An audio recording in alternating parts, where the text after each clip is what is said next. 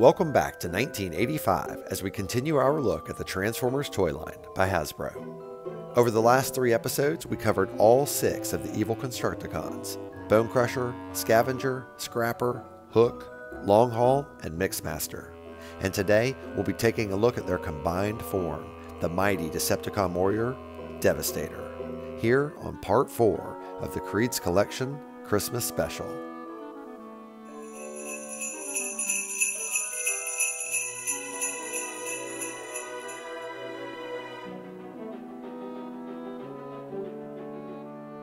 Merry Christmas and welcome to part 4 of the Kreed's Collection Christmas Special.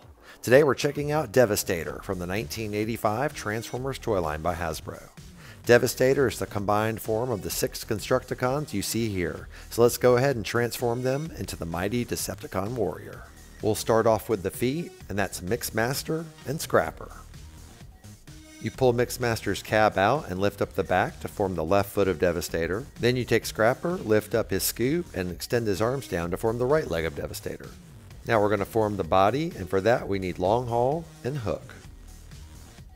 You want to take Long Haul, fold him in half like so, flip down his roof, take the armor piece and plug it in here, and then take Devastator's hips and plug them in right down here.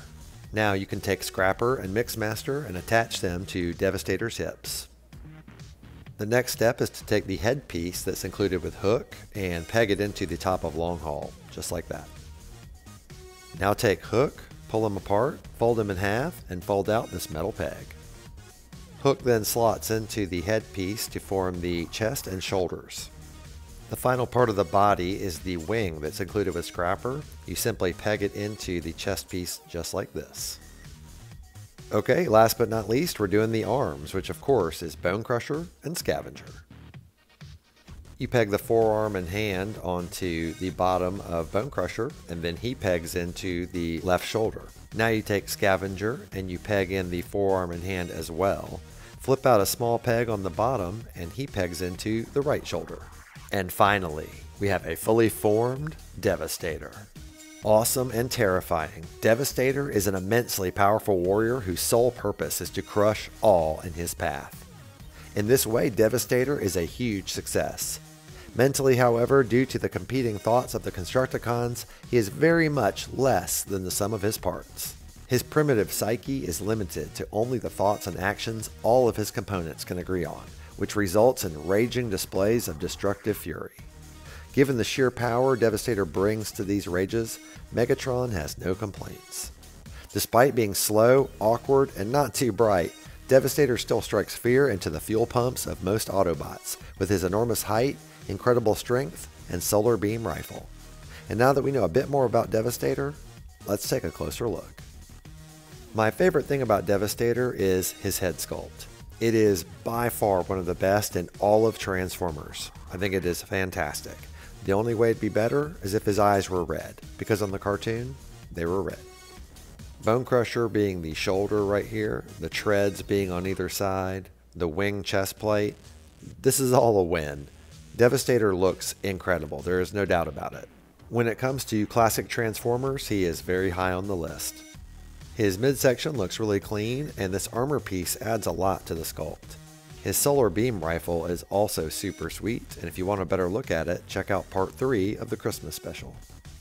A cool feature is that you can remove Devastator's hands and put in the concussion bombs, which again I think look like drills. And I have to say, I love how this looks. I can just see him holding down an Autobot and drilling holes in their body with that.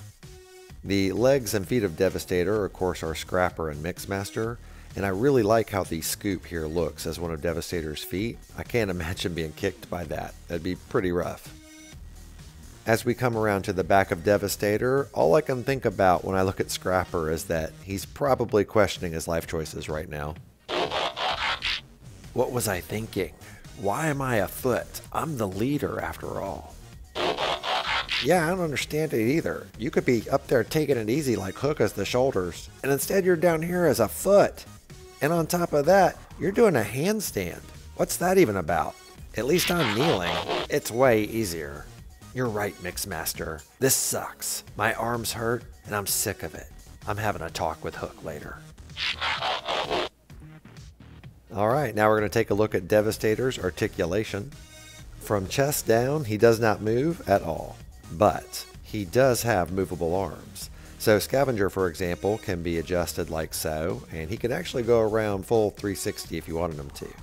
In addition to that, where you peg in the arms, these can also be bent. So you can do a 90 degree bend here at the forearm. Now also you could move Bonecrusher up and down, however the problem is the wing gets in the way.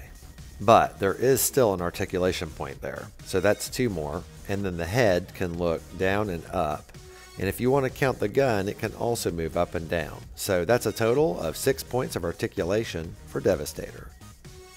Before we move on, I did want to point out one fatal flaw in Devastator as a toy. This wing is basically the only thing holding the body together, so if it pops off, and it will while you're playing, the entire top half of Devastator tends to fall out.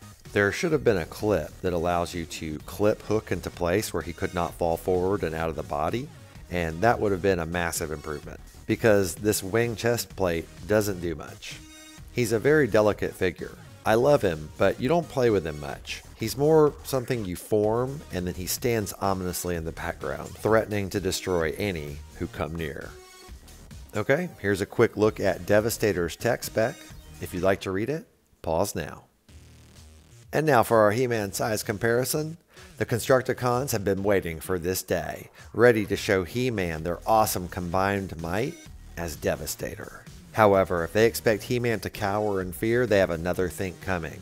Let the battle for Eternia begin. Thank you so much for taking the time to watch my toy retrospective for Devastator from the 1985 Transformers toy line by Hasbro. And with this ends the third annual Kreeds Collection Christmas Special. I hope you're having a Merry Christmas or whatever holiday you choose to celebrate. I hope it is wonderful.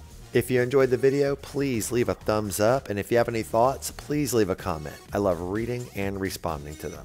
And if you haven't already, please consider subscribing. I'd really appreciate it and it would help my channel grow. I do a retrospective on a toy from my vintage collection every Wednesday and sometimes Friday if it's Christmas. So hope to see you next week and every week after here on Kreed's Collection.